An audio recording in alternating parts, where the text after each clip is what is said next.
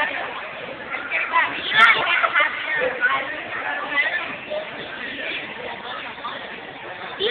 do you think of this 11th birthday, Olivia?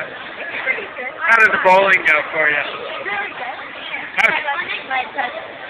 You like your presents? Yeah.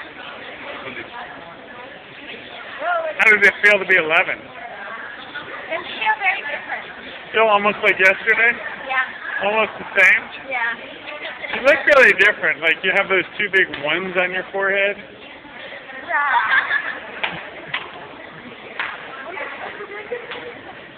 I think you're just more beautiful.